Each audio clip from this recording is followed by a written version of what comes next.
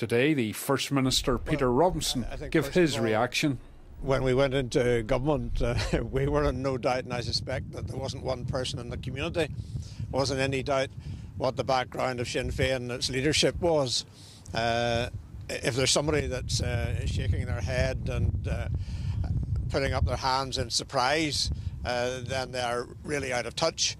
Um, we take the position that if people have committed uh, crimes, then they are answerable no matter what their position. Uh, and if there is evidence and it is brought forward, then it is up to due process to determine. Do you think Martin McGuinness should give evidence to the uh, Smithwick Tribunal? Well, I think there is a, an issue that Sinn Féin have consistently been saying that uh, we need a truth commission, uh, that uh, there is a, a, necessity for us to, to have all of the details of uh, the, the past out there. Um, they can make a good start.